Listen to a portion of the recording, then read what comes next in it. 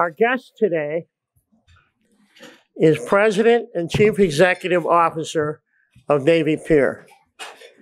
Navy Pier occupies 50, 50 acres of Chicago's premier waterfront space and welcomes more than 9 million guests annually. Our guest today graduated from St. Ignatius College, College Prep, and she earned her Bachelor of Arts degree in journalism at Marquette University. Ladies and gentlemen, Marilynn Gardner. Marilynn? All right, have fun up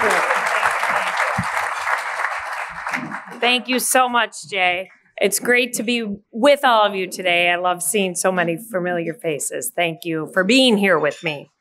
It's perfect timing being here today as just yesterday, Condé Nast announced that Chicago had been voted the best large city in the US. So let's hear it for Chicago.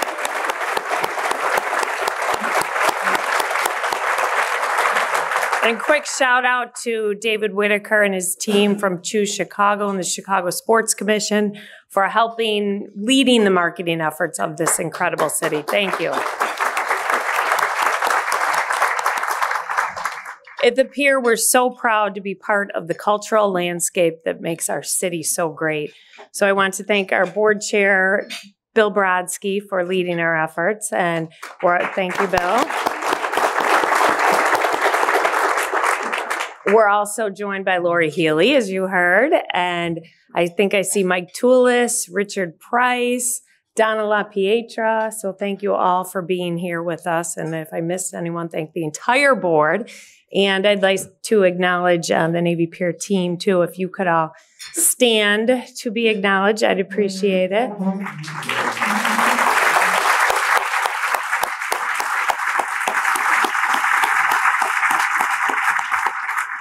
Thank you. They're the ones who really make it happen day after day. So thank you so much. You make me and the entire city proud of what we contribute to our great, great city. So thank you. Now, not to age myself, but I must share that uh, I celebrate a milestone, a significant milestone year this year. Um, actually, this month, I uh, will celebrate 25 years at Navy Pier.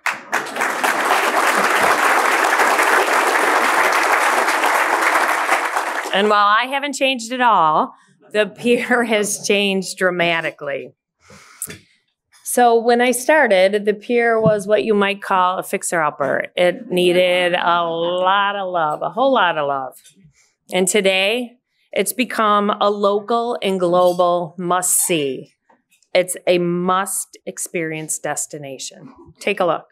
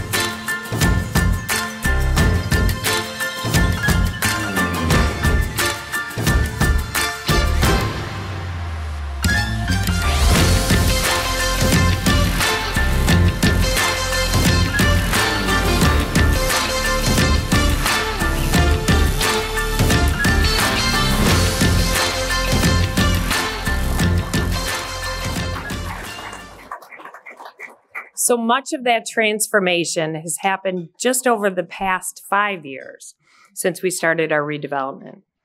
When we became a nonprofit in 2011, there were plenty of skeptics, but there were also a lot of believers. Polk Brothers Foundation, Gillian, thank you for being here. Aon, I see a team from Aon here, thank you. Fifth Third Bank, People's Energy. To all of our donor partners, thank you for believing in our vision for the pier. And to our corporate partners, our on pier cultural partners, Chicago Shakespeare Theater, Chicago Children's Museum, WBEZ Radio, and to all of the business operators on the pier and the now hundreds of donors, thank you for believing. Together, we've invested more than $380 million in our redevelopment. We knew that Navy Pier could be something pretty special a physical transformation, a mm. programmatic transformation, a great civic landmark reborn. Or, as our new marketing campaign puts it, more than you imagine. Mm. Now, that's something to celebrate. In fact, we'll be celebrating on October 23rd at our second gala fundraising event called Experience 19. And our main stage performer that night is a Navy Pier success story, Katie Kadan. If you watched The Voice, you saw her mind blowing performance that caught the attention of all four celebrity coaches. And while America's just starting to discover her talent, we booked Katie for our inaugural gala in 2017. It was her first paid performance for an audience that big 600 people. Now she's singing for millions. She blew the roof off her blind studio audition. Social media blew up too. Now take a look and you'll understand why. If you want my loving, All right. if you really do, What?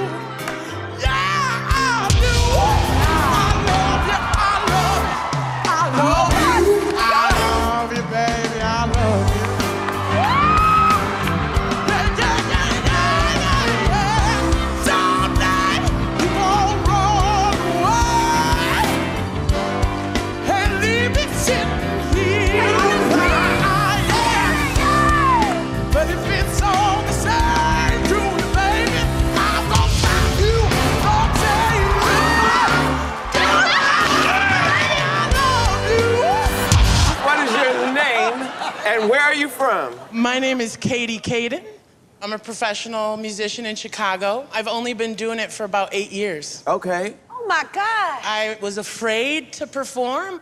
I was a chubby chick living in a skinny girl's world. So I didn't feel too good about it. But now I'm okay. Now, that was more than Katie could have ever imagined for herself. And if you want to see Katie perform at our gala and support the free programming that we provide annually, shameless plug for our gala, we are nearly sold out, so don't wait. She might actually blow the dome off the Aon Grand Ballroom, so get your tickets now. Speaking of hot tickets, who here had the chance to see Six at the Yard Theater? How about that? From the North American premiere at our very own Chicago Shakespeare Theater to the Big Apple, it's now the hottest tic- ticket on Broadway. So, congrats to our partners at Chicago Shakespeare Theater. We're proud to be your home.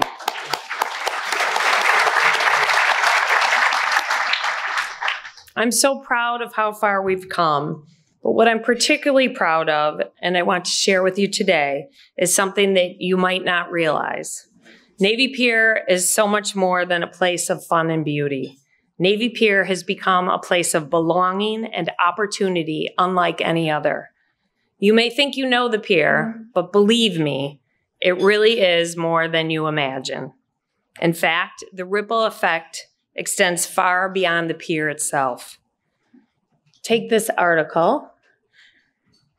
For those who don't know, Taylor Bennett is a musician and the brother of Chance the Rapper. He told the Chicago Reader in an interview last year that, I quote, Navy Pier has become one of the few places in downtown Chicago where kids from the South and West sides can meet in peace. That's as much of a Navy Pier story as the one about how your grandparents, or you, Ed Mazer, right? I don't know where. oh, and Lester, too, uh, went to college at Harvard on the Rocks, or how you got engaged on the wheel.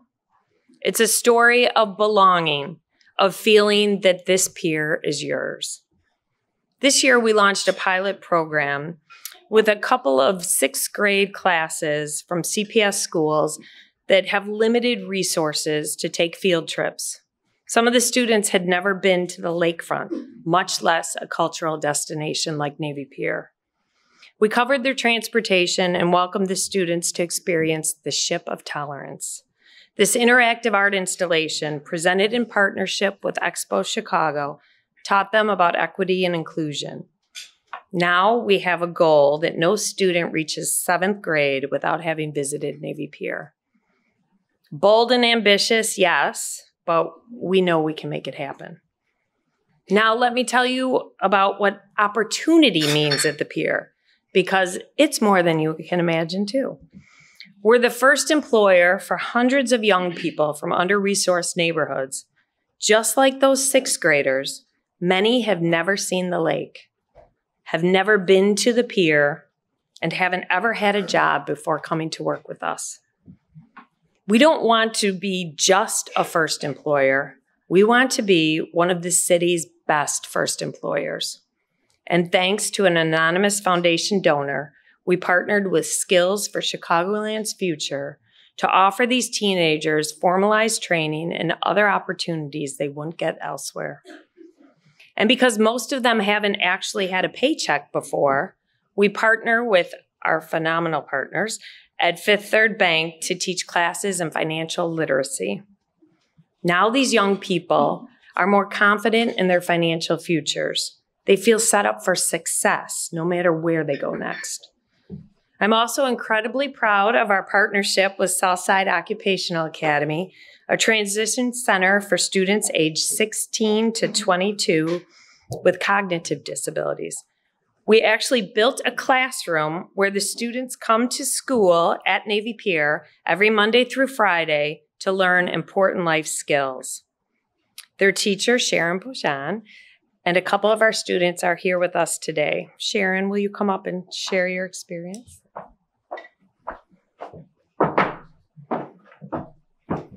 Hello, everyone. I'm going to try not to get emotional. Can you all hear me? Everyone can hear me? Um, Navy Pier has not only changed my life, but my students. Oh. They have hired eight of my students who have disabilities, ages 18 to 21. They've hired eight of them to come and work and earn paychecks and help their parents out at home at CPS um, school. Um, I met with Brian and Mike Degnan, and they were immediately on board. And they said we have to present this to Marilynn and the board. So the board people, thank you so much, Marilynn. Mm-hmm. But they did not know at that time how much they would change people's lives beyond they they can't even imagine. Can't imagine. Um, not only the ones that maybe didn't get hired they also provided a place for them to um, be comfortable and stay and visit. So now they're getting them off the streets and they're going down to the pier. And when they go to the pier, which we call the People's Pier, they see security or they see Marilynn or see they, Brian or Aramark, whoever they worked with, and they like acknowledge them. Hello, hi, how are you? Um, I have one student with me today. She's sitting over there. Delia, can you stand? This is my student Delia star student, right, Delia? Star student is right. Um, she had told me that when she got the job, she can help her mom pay bills and about her like story. But she also told me that when she goes to the pier, before she would get picked on and people would make fun of her size or her her disability. And she says now that she just feels so safe and welcoming. And just that little, just that little thing that the pier did by opening their doors to my program really changed lives. I, I, just, I can never thank Navy Pier enough, Marilynn enough, um, Aramark enough, um, and then like McCormick Place jumped on and Lori Healy and some of those students are working there. So I just want to thank everyone, especially Navy Pier, for taking the first step because you'll just never know how much you've changed their lives. So thank you. So great. Thank you so much, Sharon. And they too have changed our lives at the pier. It's so wonderful to have you as part of the Navy Pier team. Thank you. Navy Pier means opportunity for businesses too. The opportunity to broaden market and reach. We've helped open doors for small businesses with big ideas. We literally went into the neighborhoods to find the best of the best to create the Chicago centric experience you now find in the Fifth Third Bank Family Pavilion. Here's a great example. From Brown Sugar Bakery on 75th Street to Navy Pier, Stephanie Hart.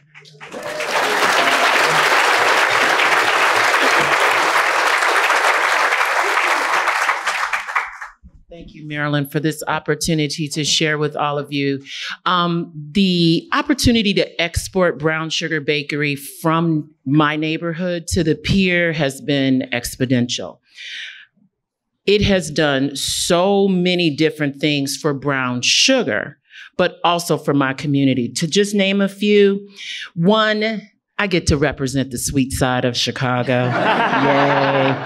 I call myself Chicago's cake now, and so do a lot of other people.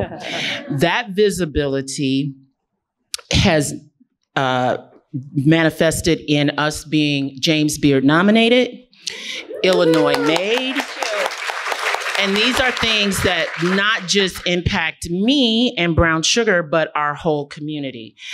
The opportunity uh, for the pier for me as a business owner has been immense.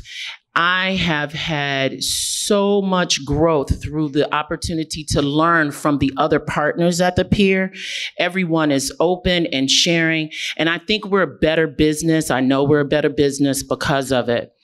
But I'd also like to touch on, and I knew I was exporting out, but I want to talk about importing back into my community. So you would be so surprised at how inspiring it is for both entrepreneurs and entrepreneurs from my neighborhood to say, wow, somebody can start a business on 75th Street and end up at Navy Pier that is so motivating to so many and it gives me the opportunity to share about entrepreneurship and entrepreneurship with my community. I think for me, the most surprising thing that being in the pier has offered my community is that folks who visit the pier visit 75th Street. They have the pier experience and they want to explore more. That has, uh, you, you'd be so surprised. We had um, visitors from um, at the pier from the BBC, a television show that now has come to 75th Street to film an episode of Hairy Guys. They, these two guys are very much, they're going to ride their bikes all the way uh, down Route 66, and they start off on 75th Street because of our exposure from the pier. In addition, the families that pack up and on their way back to Michigan, on their way back to Indiana, decide that they want to have the full experience on our street, then they go across and they eat at Lem's Barbecue. Everybody, peach cobbler and uh, barbecue on 75th Street. This summer, that culminated in the Chicago Tribune Food Bowl having an event on 75th Street for all of the businesses. So I'm so proud to participate um, in Navy Pier. I'm so proud to be a part of the growth, and I'm so proud to represent Chicago at Navy Pier. Thank you.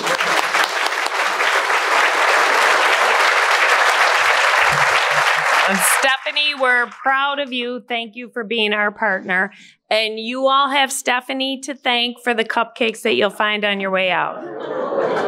But don't go yet. Don't go yet. I have more to say. of the 70 businesses and four nonprofits on the pier, 26% are minority owned and 37% are owned by women. By being at the pier, these entrepreneurs, Stephanie included, are bringing exposure and ultimately more business to their communities. Take the neighborhood artisan markets we started this past summer. Each week, vendors from different Chicago neighborhoods set up shop at the pier. Organizers of our Bronzeville market told us their vendors use the pier as a platform to grow their businesses and introduce their neighborhood to new visitors. That's the ripple effect at work, extending opportunity beyond the pier itself. We even have opportunities for bees at Navy Pier. Yes, bees. They live and work on the green roof of the People's Energy Welcome Pavilion in Polk Brothers Park, all thanks to a partnership with the Chicago Honey Co op. It's just one way we carry out our commitment to sustainability and sweetness, Stephanie, right? Belonging and opportunity. It's what we do best at Navy Pier, and it's how we live out our mission as the People's Pier. Can you think of any other place in Chicago, or frankly, in the world, where all of this happens? Where people come to celebrate Ramadan and Holi and the Latinx Music Festival? Or where more than 21,000 people from all over Chicago enjoyed a huge indoor beach in the middle of a polar vortex? Where else have 195 million guests over the course of 25 years had different and very personal experiences? And speaking of which, I hope people are writing out their favorite Navy Pier memories, like Jay suggested. I'd like to share some. So, what's next, you ask? Well, we've accomplished much in a very short period of time, but there is much on our horizon. The Sable, our seven story, 220 room hotel, will open this summer. Look at those views. It will be spectacular. Now, does anyone know the significance of the name Sable other than Navy Pier team? No. Okay, well, the Sable was one of two aircraft carriers docked at Navy Pier in the 40s for flight training. So, harkening back to the historical significance and impact the pier has had on uh, Chicago for many, many years. We also have a marina in the works. And I mean, look at that. Won't that be terrific for tourism in particular, but great for boaters from all over Chicago and throughout the Great Lakes? So we're looking forward to that coming to fruition as well. We're also reimagining Pier Park, the Crystal Gardens, and the Far East End Plaza for the future. And with support from Chicago's generous philanthropic community, we're confident we'll transform these spaces too. And come see me at the pier and I'll show you more because there's a lot more. In fact, if it's the right time of day, I may even treat you to a drink at Offshore. Aside from being the world's largest rooftop bar, as confirmed by Guinness Book over the summer, it just won its first of many, many architectural design awards to come. And I don't know if Jackie Koo's here, but congrats to Koo and her whole team for this incredible design.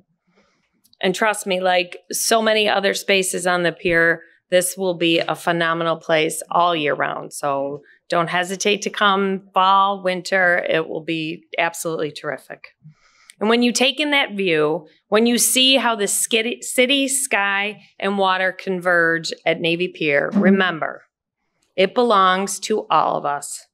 It's our place of discovery and wonder.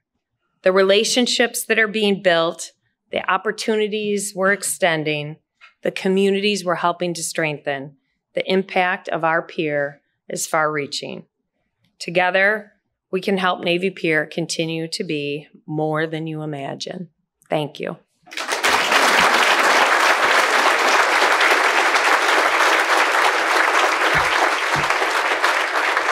Tremendous.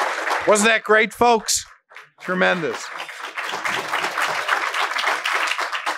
So, Where's Marilynn? right oh, right here. if anybody has any questions that you would like to ask uh, Marilynn to uh, answer, you have these four by six blue cards. Just hold them up, and members of our staff, I see Sam and Amanda will collect them. And if you have any memories of Navy Pier, we'll get to that after um, our questions. Okay, you're ready. I'll tell you, Navy Pier looks a lot different today than when I went to school there in More to 1960. come, Ed. More to That's tremendous. Okay. More to come. This is from Claire Agra, who's with Chicago's First Lady. Yes. And she wants to know what are some of the other things on the horizon for Navy Pier that you can disclose at this time? Well, I mentioned the hotel, the Sable, which will open this summer. Uh, we are working very diligently with the city to ensure that we're able to move forward with uh, the marina, which I think Holly, you'd be very interested. It will be a terrific asset uh, for not only the pier but for the entire city. So we're excited about that. Uh, we are hoping to find partners to help us reimagine Crystal Garden, Pier Park, the Far East End Plaza, and we're working to secure grant funding for um, upgrading the adjacencies to the hotel um, in Festival Hall and the Grand Ballroom. So more to come on all those things, but also the incredible um, programmatic transformation that's been underway. Um, you'll see lots of fun surprises in the years to come, thanks to Michelle Boone and her ACE team. So more to come on those things. Well, thank you, Michelle, and thank your ACE team.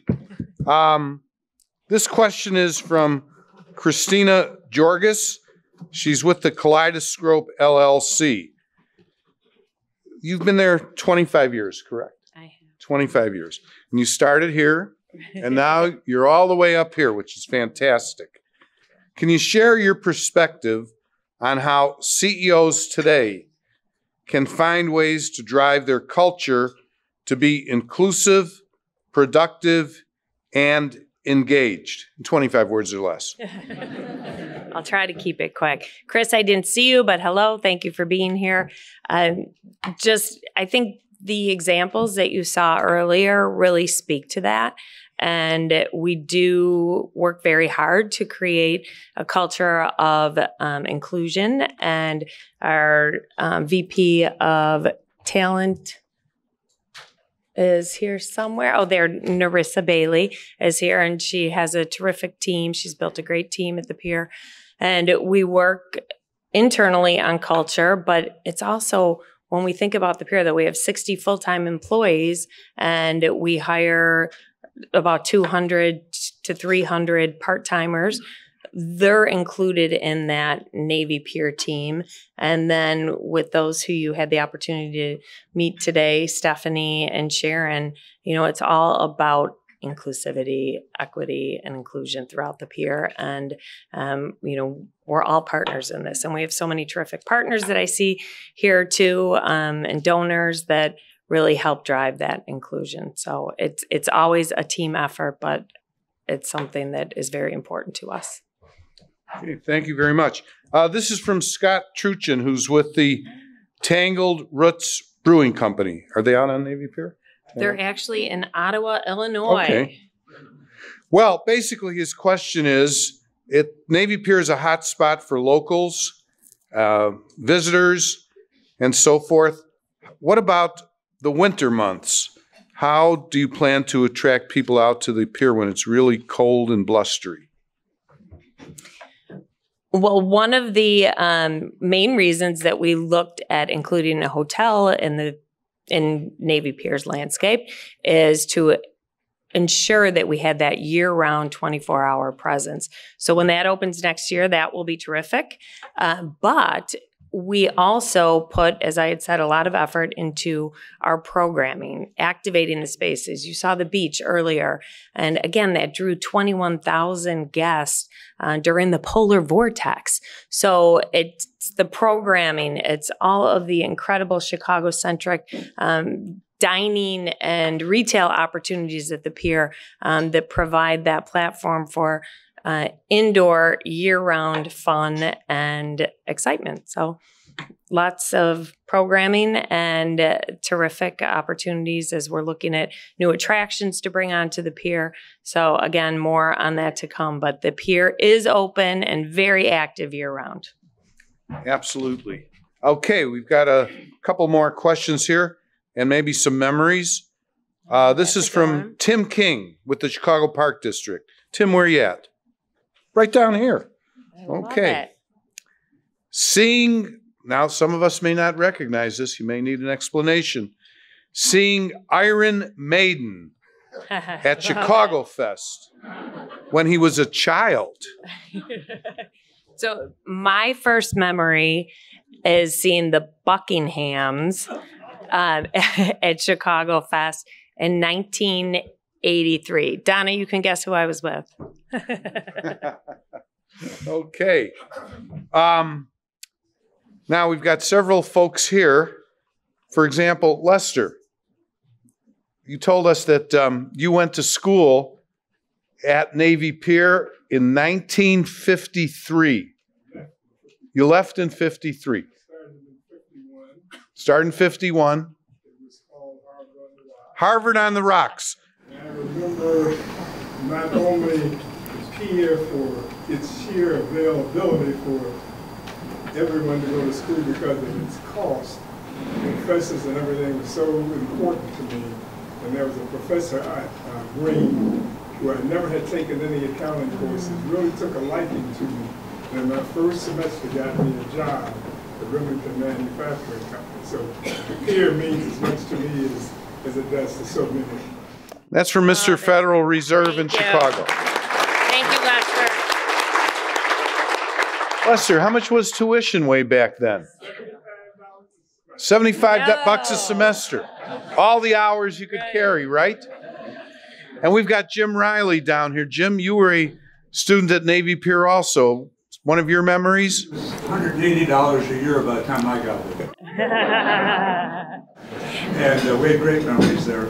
Uh, The the memories I have uh, that really no one would put up with today was when we, when we took notes in the wintertime, we used to wear gloves, a hat, you remember, and, uh, and cut your coat. And you have to sit there and freeze in the rooms because there was no heat way out at the end of the pier. And, uh, and then in the spring, when the rains came, you stand against the wall because the, the, the, the water came down in the middle of the room in buckets.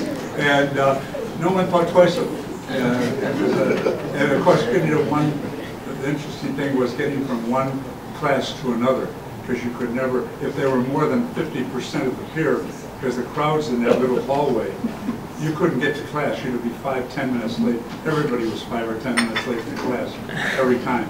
And uh, outside of that, it was a, a fun place to be. Sounds great.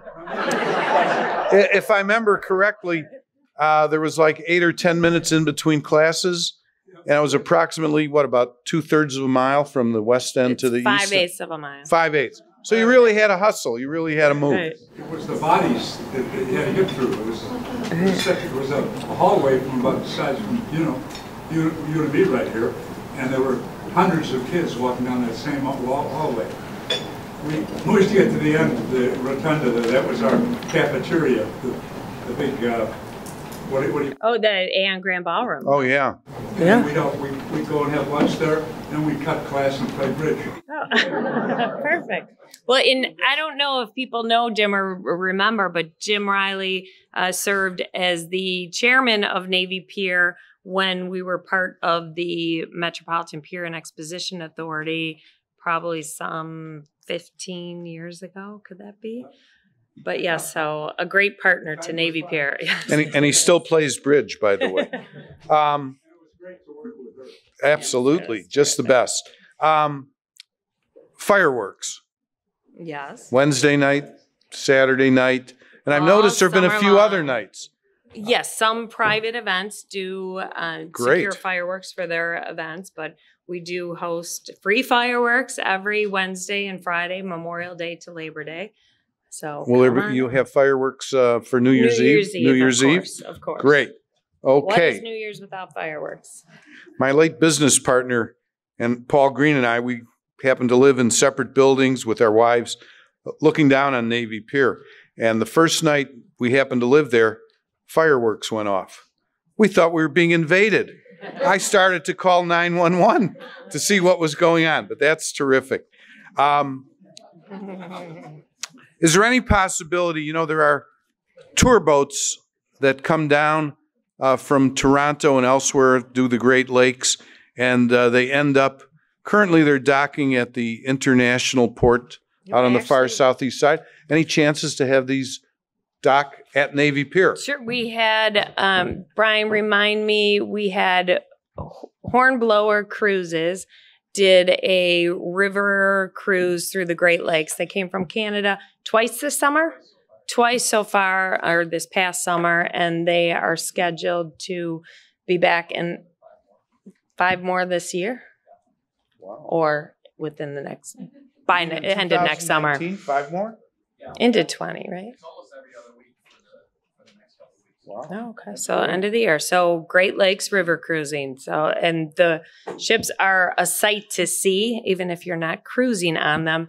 It's really neat to see them docked at the pier. So uh, a terrific new asset to the pier. And Brian, I have another potential client for you. The group called the Road Scholars. They're looking. They've been docking out at 95th Street, and they would like love to dock at uh, Navy Pier and spend money there, which they can't spend at 95th Street. Okay. Any other questions? Any other memories? Well, I'll share one last memory uh, with you there because, like Jim and Lester, I went to school there in 1960. Um, and at that time, the physical education facility was in a separate Quonset hut out where the Polk Pavilion is today. And there was a huge World War II mural in that building of either Army troops or Navy CBs hitting the beach somewhere. You had like 10 minutes to get there. But the best part was parking. You know, there's a lot of available parking at Navy Pier right now.